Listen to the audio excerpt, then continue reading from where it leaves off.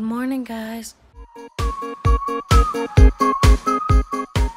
I'm sorry I haven't been recording a couple days. I don't have school today. Lindsay has a volleyball game to go to, so that's where we're going. We are here. Lindsay lost her first game, so and by the way, school is completely over from for the season. I will be posting a video each week. Besides when we go to Florida, and I think we're going to um to Ohio too in the summer.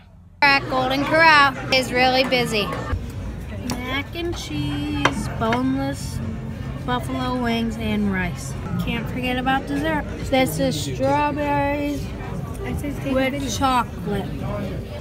Golden Corral was so delicious. We are heading home. I am home. Lindsay played six games of volleyball, so we had a long day. Uh, I hope you enjoyed that video. If you did, smash that like button, and I'll see you all next time. Please subscribe, and I'll see you on tomorrow's vlog.